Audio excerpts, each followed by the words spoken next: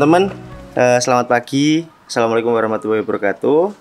Alhamdulillah untuk pertama kalinya si Marco Polo ini akan eh, dipinjam oleh seseorang yang mungkin teman-teman juga kenal.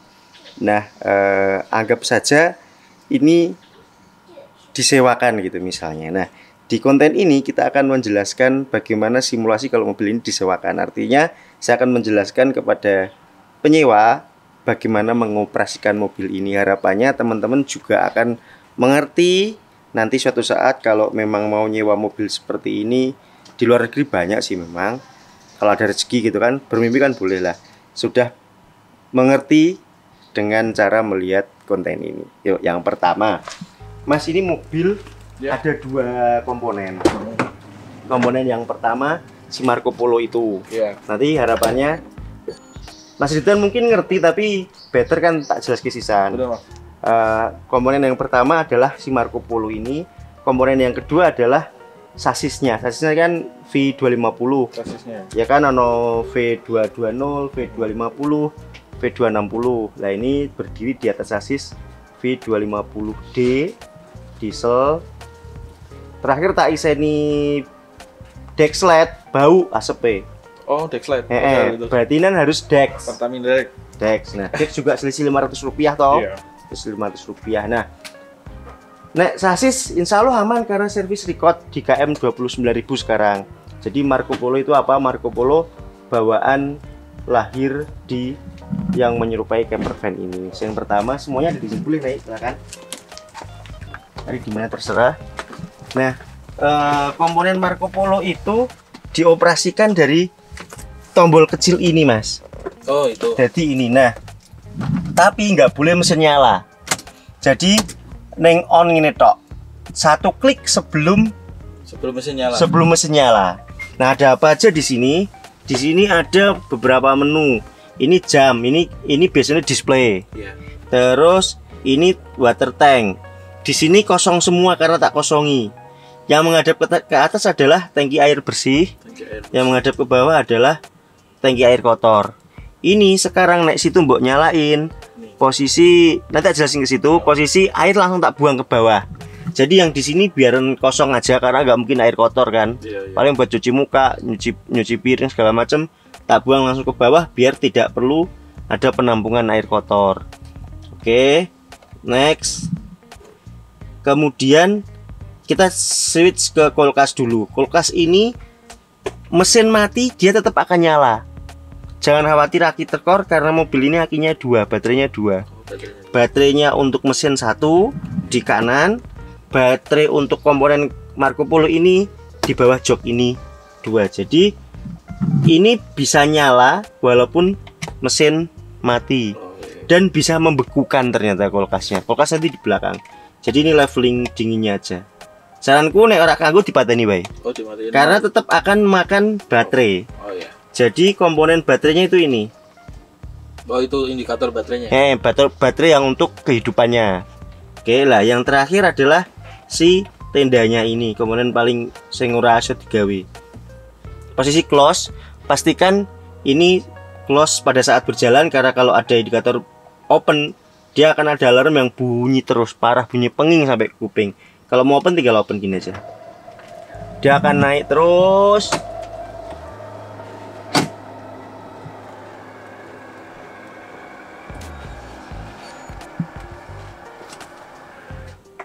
Dah. Ya, Yen udah ya, sudah. Berarti ini kalau mau dinyalain baru boleh dinyalain. Karena nek ndak ndak mau nyala. Lah ini kan langsung seberisik ini. Oh, alarm. Eh kan open. Jadi mending better dimatikan aja. Dah. Kemudian ini bisa dihadapkan ke belakang. Yang ini dua-duanya bisa. Tapi kudu di setting ini sih. Kayak kayak kayak kita sesuaikan banyak hal. Jadi ini anak-anak ono tuas loro ning ini. Ini ada yang untuk belok in sana, maju mundur. Awas Oh. garuk kene, garuk kene, garuk kene Oh, jadi ya. di maju mundurkan. Dan nek wis pun harus dimajuin ke sana karena akan garuk setir. Gitu. Pelan-pelan. Pelan-pelan. Nah, ini langsung mulai sini Mbak ya saklar ngisor kalau mau camping kalau mau pakai lampu ini pun sangat terang dan cukup. Satu aja cukup ini agar dup sampai mati. Wastafel di sini. Ini auto ngalir. Oh banyu nentek. Tak kosong emang tak kuras. Iya, ngalir kemudian kompor. Kompor pun tak buka gasnya tidak tak aktifkan. Jadi nemeh masak rasa masak di mobil. Karena ini bener-bener belum pernah dipakai buat masak karena nggak ada lemak nggak ada apa pun di sekitarnya jadi masih keset semua. Kemarin we mau simulasi godok banyu ya Ri. Kita masak di luar kalau mau camping. Karena eman-eman toh mobil dagangan. Nah kalau mau ngaktifin atas nah di sini enggak apa-apa. Ini buat tidur anak-anak tapi ya di sini ada tulisannya hmm, 6 years old jadi ini bisa buat tidur anak kecil dua di atas gitu ini biar gini enggak apa-apa ada lampu yang bisa diakses resleting nih kene Oh, apa itu eh, buka. ventilasi udara ada kiri kanan cukup adem sih nek tempatnya adem nah Ini maksimal berapa kilo? 6 years old ya nek 6 years old wong Amerika tetep bocah kene kan 11 tahun nih Iya. iso. Sing jelas wingi tak muati anakku loro muat semua. Semua semua. ya? Dan tidak ada kekhawatiran mentiung-mentiung orang. Hmm. Nah, ini bisa kalau orang tuanya tidur di sini. Mau keluar, guys? biar pinjam Eh, hey, nggo Civic we. Nah, eh, ini kalau mau setting rebah, perhatikan di sana jangan sampai mentok. Kurang maju kayaknya. Iya. Jadi nek meh majuin ini ya. Oh. Eh.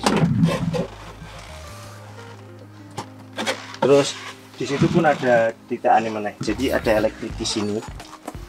Sudah itu semua paling di sini nek meh di laci-lacian gitulah.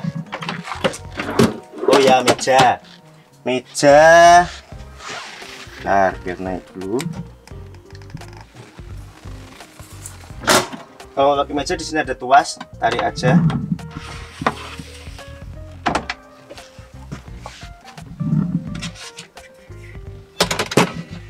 Jadi kita bisa makan makan berempat di sini. Jadi itu bisa bisa lebih ke belakang lagi sih. Balikin aja biar nggak berisik. Ternyata ini menarik karena tombolnya kayak mercy mercy nih. Menurutku ini pintu lock, eh unlock, lock. Ini pintu belakang.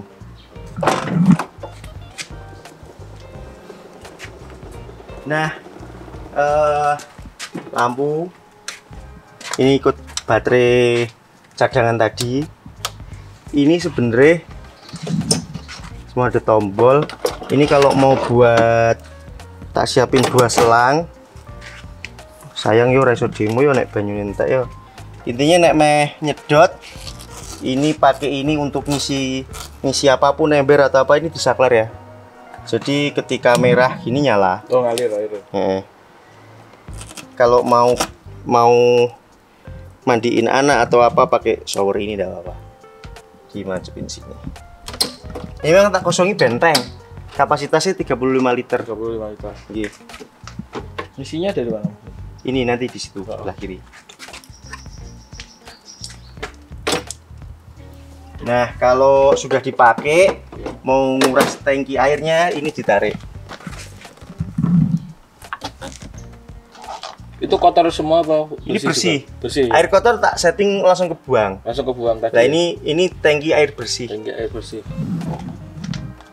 ban serep di bawah terus kompor ora usah ya Enggak usah.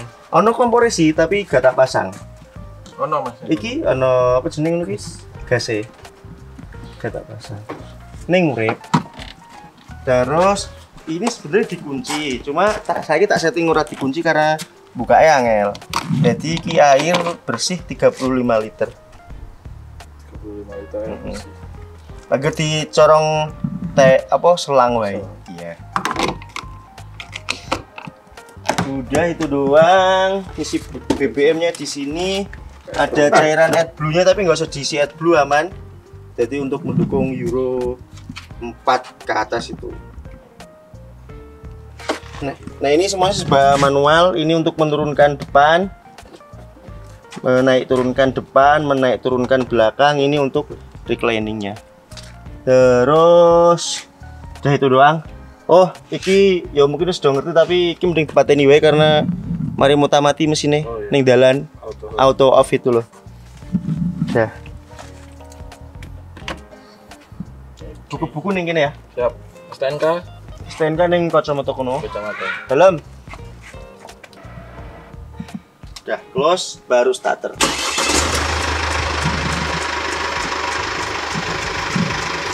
Di sini enak. Kalau gue wah sini keren. Sini lagi kual sudah itu aja. STNK di sini ya. Di sini. Mas tuang sih yang muter-muter tadi mana? Tuas apa ya? Ini.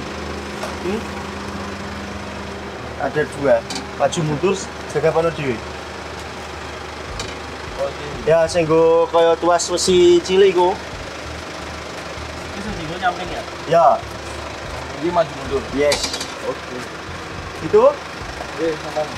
kalau ada bawa baca baca Aku langsung ya, Mas. ya jadi Oke. happy camping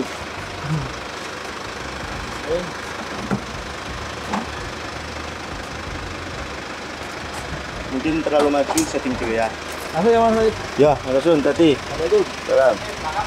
Pencet weh pencet ono pencetannya